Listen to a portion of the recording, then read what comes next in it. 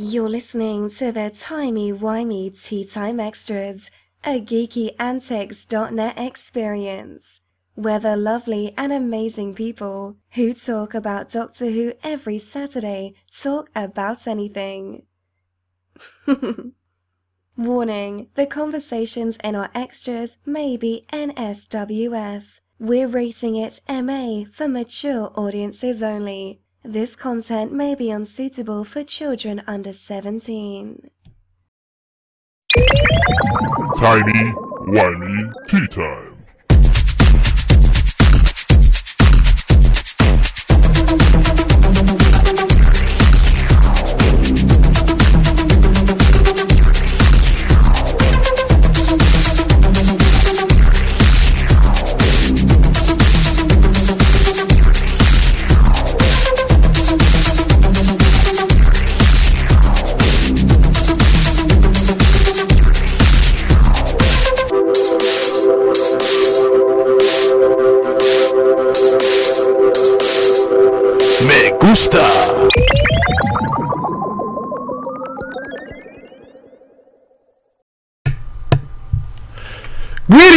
And welcome to Timey Wimey Tea Time. Hashtag TWTT. This is a special episode. This is our XTC series, episode 2, or as I like to call it, uh, double zero two, zero zero two. And what what that really means is we're just gonna do something, we're gonna break from the usual format. I was gonna keep this part of the regular show, still will be on the main feeds on geekyantics.net, allgames.com, iTunes, Stitcher, uh, TuneIn Radio, all that good stuff. But um, it will be marked as uh, titled as an XTC because uh, I want to just kind of have more of a conversation with you guys, just speak more from the heart, less of a script. And also, it's it's a big day today because uh, Stan, our beloved Stan Farina, is not with us today, and he may not be coming back. We'll see what happens there. He's uh, found another calling, and um, for a while he's been kind of teeter tottering. He didn't he doesn't see the benefit of podcasting. Uh, he doesn't see how it fits into his uh, schedule. See, it's, bother- it's bothering the dog too. That's why he's barking. But uh, Raginator, we're here on, on allgames.com. Raginator is, is talking about his obsession with Steam. He ended up getting 19 games between yesterday and today. Man, I wish I had a kind of disposable income, but I don't. That's the what happens when you're a family man. Let me know how I sound on uh, All Game Stream, guys. And hello. So, for those new to the show, what is Time Wimey Tea Time? Well, it's where friends gather to talk about all things Doctor Who, sci-fi, fantasy, zombies, creative writing, and just about anything geeky. Uh, we tend to focus more on the creative processes, uh, philosophical kind of things, human issues, um, the stuff that really the fabric of the of the creative content that we enjoy. Because you know, even even going to video games too, and, and anime, there's so many things that uh, so many common threads between all the things that we love, and we like to just talk about those kind of things. But we are primarily a Doctor Who podcast um, because I, I feel like Doctor Who, you know, 50 plus years of, of that series. Uh, and I'm not even gonna talk about the audiobooks and the novels and comics and all the expanded universe stuff, but just the TV series running 50 plus years. They take a little bit of a break, so it's kind of cheating, but still, over 50 years of of history there, and the show is just so great at uh, making you think about human issues by using aliens. You know, Eh, yeah, Star Trek has done that, Star Wars has done that, but Doctor Who is really the first. And you know, you, you may you may have you may have never seen or you may not even know what Doctor Who is. So I'm gonna tell you, Doctor Who's very special. Uh, it's had it has a rich history. I mean, there's been so many great um, writers, you know, writing for the show. Uh, classic Doctor Who. You just think about classic Doctor Who. Douglas Adams, uh, if I'm not mistaken, he wrote several episodes for Doctor Who, uh, classic Doctor Who. And who is Douglas Adams? Hitchhiker's Guide to the Galaxy. I mean, n- 40, number 42, that's, that's a big deal. Um, and there's also Robert Holmes, who's uh, you know credited as being probably the greatest uh, classic Doctor Who writer. Uh, modern Doctor Who, well, you know, it, some people love Steven Moffat. More people prefer uh, Russell T Davies and some of them uh, lesser known contributors. But uh, Doctor Who just is a rich series that takes us to so many different places and gets us just thinking about things from a different perspective. That's what I like about it. Um, it's it's got aspects of an action, adventure, mystery. Uh, I mean, it's a space opera, but then it's not. It's just it's just fantastic. Doesn't mean it's not without its flaws, and we get into those flaws quite a bit. But nothing's perfect, and that's kind of something you have to really think about when you judge not only uh, creative works, but uh, you know, human beings, uh, or, or just other living creatures. Period. We all make mistakes. That's gonna be one of the things I think we'll talk about uh, today. Um, so some quick housekeeping. Now that we established what Doctor Who is and how why I love it, I'm, I'm a fanboy when it comes to Doctor Who. It's one of the few things I really get excited about. Uh, whether they're having great a great series, a great season or not. Uh, but uh, a little bit of housekeeping here. So we'll be doing some format changes. So those that have been listening to the show and have been on this journey with us from the beginning, uh, we're gonna switch things up a lot. With Stan as a co-host, I did a lot of heavy um, show notes, and he liked to script a lot of things because he li- he liked to know what to expect going into the show and how to respond. And he's not very good with being put on the spot. And I get it. Not everybody could could be um, just kind of uh, let it flow. Um, and, and, and the benefit of that is we say some really intelligent things and avoid uh, the mouth garbage. Because mouth garbage is real, and we've talked about the mouth garbage quite a bit. We're probably gonna talk about it more today. But uh, there's gonna be format changes. Um, I think I'm gonna lean more towards a shorter show. Maybe skip the little musical intermission we have in the middle. I'm gonna aim for an hour and a half. Uh, an hour, I just don't see it happening unless I, I continue to keep doing the show by myself. So with that, it's probably just going to be a matter of doing one, one or two very focused theme topic discussions per show, unless we're discussing, um, unless Doctor Who's running or The Walking Dead's running, which we talk a lot about both of those shows. Um, then we just uh, we'll pick a topic or go, pick a classic Doctor Who episode and talk about that. So it'll be it'll be a lot more focused, and you'll see it reflected in the titles of the of the episodes. And it'll be less arbitrary. Um, so it'll be more about a specific, specific theme rather than several themes. I think that'd be good. And of course, it doesn't mean that we'll, you know, talk about a, a topic and then put it away and never re- revisit it. We'll see, especially in Doctor Who, there are topics that, you know, underlying themes, recurring themes that keep coming back. Deep Blue Guy says, "How do I stop spending money?" This is probably not the show for that. but I think the best way to stop spending money is to think about all the th- all the times you spent a little bit of money and how much you know how many times you regretted it and then how much money you'd have to spend on something even better if you didn't do that. So you kind of try to establish a budget or a savings habit. Maybe one less cup of uh, starbucks a day or a week you know that or eating out less. Those things can save you lots of money. But we're not a finance show we're not a, a self-help show. Well eh, you know in a way we we do get into that personal development thing because in tackling human issues, you know, I mean, I mean, like I said, we get into the philosophy, the mythology, um, all kind of aspects, even spirituality of uh, creative works.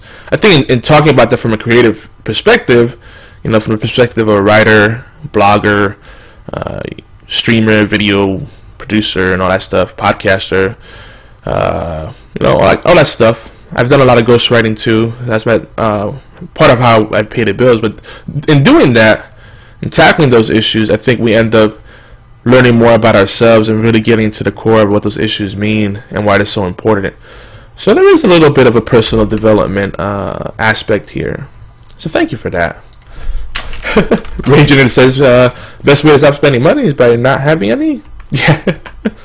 I guess that's one way to do it. Yeah, if, I can't spend the money if I spent it. Haha. Yeah, don't don't travel with money in your pocket. There you go. Hashtag real talk. Um, so we are looking for co-hosts. If you are new to podcasting and always wanted to do podcasting, hey, I'm I'm willing to take on an understudy and show you the ropes and everything on the technical side and uh, the more creative side as well. That'd be awesome.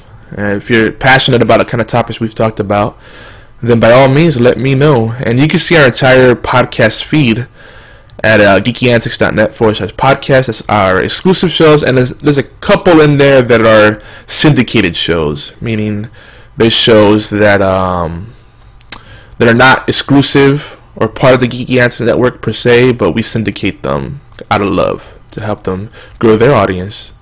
Um, you know, and uh, yeah, it's good stuff. And of course, we are on allgames.com. If you want to listen to the audio only feed, definitely visit us at allgames.com. We're here every Saturday at uh, 12 p.m. That's 12 noon Eastern, 9 a.m. Pacific. Uh, that's uh, 5 p.m. in London, and I believe 7 p.m. in Bucharest, something like that. Uh, and I also believe that might be 4 p.m. in Madrid, if I'm not mistaken. Geography not my str- one of my strong suits, so. so uh, what? Ray J says, "Wait, you pay to eat out? Who's charging you to eat them?" Oh, I'm back on that. Hey, this is a family-friendly show, and I'm not into cannibalism. That's just weird. For that, you can go to Walking Dead. But uh, yeah, we do keep this show pretty clean. Uh, and actually, that's a good segue. Thank you for that. If you listen to Geeky Antics shows, uh, one thing I will say is our most family-friendly shows are are Time Wimey Tea Time. Uh, I know we had the bumper that said it might be uh, inappropriate content because XTC is where we tend to have guests and go off the rails more. Um, but I'm, I'm, gonna behave myself today. But generally, Time Wimey Tea Time, and then we on Sunday we have uh, our spiritual show. It's not for everyone, but we have an apostolic outlook at 2 p.m. Eastern. Um, it's a whole different kind of thing. That that's as clean and uh, good as it gets. But other than that, um, you know, we most of our shows uh, air at night, uh, late night, prime time kind of stuff. So you know, the freaks come out at night. That's kind of the theme we go for there. So at night we just kind of just let it flow and don't worry so much about the filter. Because that's one thing. Like uh, when you when you're podcasting or or doing any creative work like like comedy for example if you gotta walk on eggshells it takes the fun out of it. Um, and we'll get into that discussion. Uh, I have I have some personal thoughts about about the nature that. I do believe that it's important to be courteous and mindful of your audience but you know a network can't possibly police all of their shows and their hosts so all games is the same way. All, allgames.com they have some shows where everybody keeps it clean, and they have shows where it's like it's almost porn level discussion. It's like, whoa, okay, all right, slow down there, guy. But I think each show, each host has a responsibility to develop that expectation, and it's kind of assumed in a network that the individual contributors, no single contributor speaks for the whole, and it doesn't speak for every other contributor or show or creative work, whatever it might be. So that's just a little quick disclaimer. If you happen to listen to one of our other shows and you hear something that offends you, take it with a grain of salt. And definitely go come to this show and, and, and air it out because it's a separate, whole separate thing. Yeah, we're on the same network. You know, I might even be involved with some of the other shows, but it doesn't mean that they're connected. And you know what? I think it's important to give people the benefit of the doubt. But anyway, back to housekeeping. Uh, we are still thinking about doing the radio drama that might be um, it's definitely going to be a 2015 thing, but it's going to probably be further ahead. Um, I know I, I, talked to Ali Kennedy, Alistair Kennedy. Uh, we were doing a podcast yes last night, uh, Friday, December 12th at 7 p.m. Eastern, and every, and we um, every Friday we do Star Wars Rebels Cast UK, and uh, we had a wonderful discussion yesterday. We had a, a nice conversation with. Uh, I don't want to call it interview. It's a nice conversation with John Jackson Miller, and he talked about his book A New Dawn and his other book actually as well, uh, Kenobi. But we mainly focused on A New Dawn. Great Star Wars discussion. We talked about Mass Effect, collectible card games, uh, Star Trek, uh, his original story, uh, Overdraft. Uh, so many great things there. Oh, it was such a great discussion. Um, so stay tuned. That's gonna come up. We're gonna I'm gonna upload that to our YouTube. It's on our Twitch, and it'll be up on all the podcast feeds as well ASAP. But um, yeah, we've been talking about doing a radio drama. Uh, we're kind of tinkering with the idea of doing a Star Wars fan fiction type thing. Um, but then we also would like to do some original content. Um, so that will be on the Star Wars Rebels Cast UK if it is Star Wars themed, and for original stuff, it'll be here because this is you know this is kind of like the writers panel slash uh, creative mastermind uh, roundtable place, but it's casual too. That's why it's tea time. Bring your drink of choice, relax, kick back, and just talk about whatever's on your mind. And we hope that we've created an environment in our, you know, we're, we're still a fledgling cap uh, podcast, but we hope that we've created a a nice, welcoming kind of environment for people to just feel like they can speak uh, openly. Oh, you know? I do need to actually change this. I just realized I have this marked as episode 15. This is not episode 15. It's actually XTC double zero two. Yes, that's that's important. Episode 15 will be next week. And like I said, I, I, I made that judgment call because I wanted to just have more of a conversation with you guys and not uh, be bogged down by a format specific uh, talking points. But we will have we'll be having a uh, format change anyway. So yeah, all right. Some more housekeeping stuff here. Uh, so we talked about the soft kitty contest. Uh, we're gonna give away three Hearthstone pillows. That was Stan Farina's uh, baby, and he was doing it through the Geeky Antics Network and through TWTT. But since he, it seems he will be MIA henceforth, uh, that may be canceled. So I do greatly apologize for that. Uh, I don't want anybody flaming him, but things happen and there haven't really been that much that many submissions, and uh, I know i am gonna try to think of a way that I can make it up to the people that have submitted um, their song requests, their their interpretation of Soft Kitty.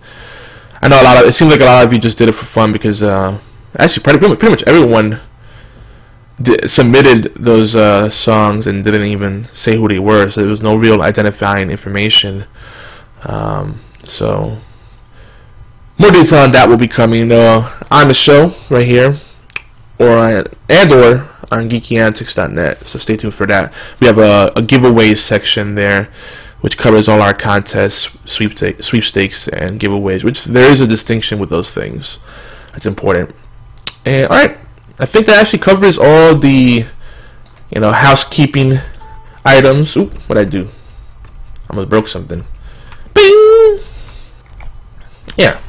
So now let's go on to what we'll be talking about today, the meat and potatoes of the show. Uh, now that we're 20 minutes in, um, we're, we're, gonna, revisit Spearhead from Space because I feel that we didn't we did not give that classic Doctor Who episode enough of a real look. Um, and actually, in listening to two great podcasts, uh, Doctor Who Companion uh, on Stitcher and Next Stop Everywhere. Shout outs to you guys. Uh, it inspired me to really come back to some some of the observations I've made, and um, you know some of the real important nuggets there. And I think it, it, it's worth giving the third Doctor, Jon Pertwee, more love before we move on to uh, Davison and Sylvester McCoy and um, Colin Baker, not in that order, obviously, but uh, we did already cover in the previous episode, episode 14 of Time and Tea Time. We did cover um, Peter Davison's uh, Earthshock, and we started talk- getting into how uh, Tom Baker was the better doctor and possibly, arguably, the greatest doctor of all time. But Davison did have amazing stories to work with, which I think carried him as an actor.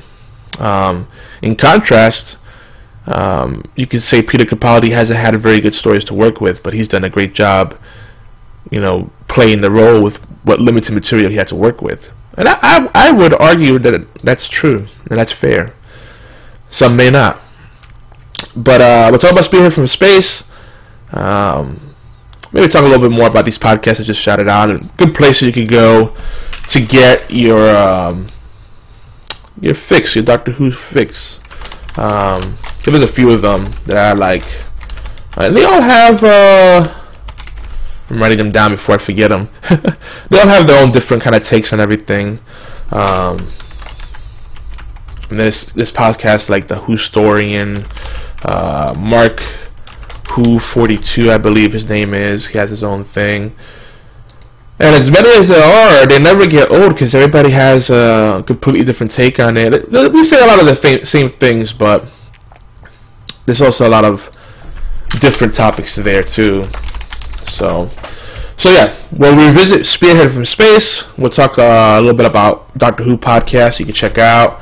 Uh, that'll probably be in our closing section, in our shout outs. And we'll revisit the 12th Doctor and really think about what's important with him and why he could, why arguably he was such a jerk. Because people think he's kind of, I don't know, antisocial, maybe a, a sociopath. We'll talk about that. But um, let's talk about Spearhead from Space here. I gotta I gotta ignore uh, IRC right now because they're having some really off-color discussions there. But thanks for tuning in, guys, uh, on the AllGames.com feed. Whew, it's getting a little little crazy in there, a little cray cray. Let's see who's here on Twitch. I see some lurkers, but my viewer list is not updated, so I apologize. So anyway, Spearhead from Space. So Spearhead from Space was the first um, first third Doctor episode, um, and the third Doctor was played by Jon Pertwee. So that's that's already important. It's his first episode. It's considered one of the, the classics so it's on the Doctor Who 50th anniversary collection. And a lot of things, a lot of big milestones for the series took place here. Uh, we're gonna get into, we're definitely gonna get into that. It was the all right. Actually, let's just do it right now. It was the first color Doctor Who, so that's a big deal. But more importantly, uh, and some a lot of folks mentioned this, including the folks over at the Next Stop Everywhere podcast it, it um, apparently Steven Moffat has said this as well that Spearhead from Space was almost like a pilot for a brand new series, and I totally see that. Um, it felt like they really went all out to explain who the Doctor was, make it a, make a point of the fact that he's an alien, but he's humanoid, and he has human emotions, and he loves humans and human culture, and he loves Earth, uh, and, and a lot of backstory uh, is, is given here. A lot of callbacks to um, the uh, second Doctor, Patrick Troughton, because um, it's actually interesting.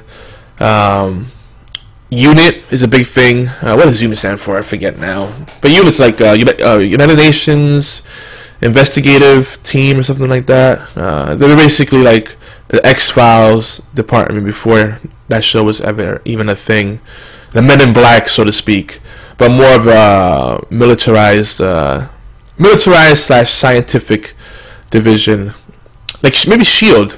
I I compare it to Shield, which I happen to like Agents of Shield. Know that that show is very divisive, uh, just like Doctor Who. You either love it or hate it, I guess.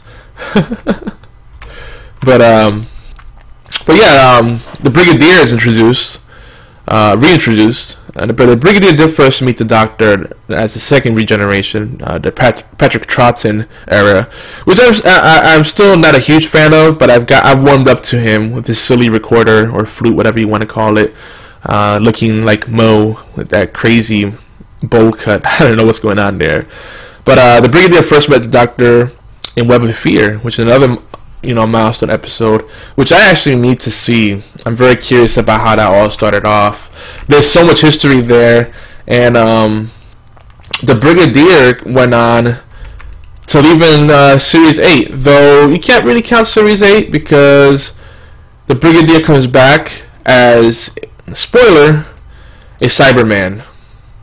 The last time we see the Brigadier as a human being is actually on the Sarah Jane Chronicles. So you know, the even though Doctor Who has uh, switched so many hands and there's so many people, you know, so many cooks with their hands in the pot, they've done such a great job of making it a mostly seamless universe, and I love that.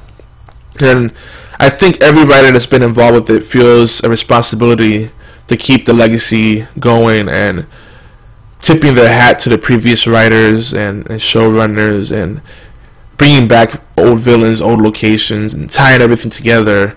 But at the same time, leaving it open enough that people could write good standalone stories and not feel like they're a slave to that universe. It was such a massive universe. I mean, when you have time travel and space travel combined, yeah, you could write about anything and make it fit somehow. But it's great that they, they for the most part, they're very good about not contradicting rules and, and events that took place in the past. Now, arguably, you could say with time travel, it's a lazy, you know, arguably lazy uh, narrative device because you can basically retcon whatever you want. You know, retroactive, uh, what's it? Retcon, I forget what it actually stands for. Retroactive conditioning. Basically, just, you know, change up what you wrote before, uh, and, and retroactively just go back and say, you know, that, that, that actually wasn't true. That was all a, a dream or actually they went back in time and, and, changed that event, so it never happened, you know. And then there's a whole thing about paradoxes of trying travel, time travel, and all that stuff. But anyway, back to Spearhead from Space. I'm not gonna. I'm trying to minimize the uh, the banter. The Spearhead from Space also introduced a new villain, a new race, the Autons, and I actually almost forgot about this until it was pointed out. The Autons were seen again four episodes later in episode 5 with uh, Jon Pertwee, which was, I believe, Terror of the Autons. And then in 2005, when the series came back from a bit of a hiatus, in the episode Rose, which, if I, if I am not mistaken, that was the last time we saw Rose Tyler.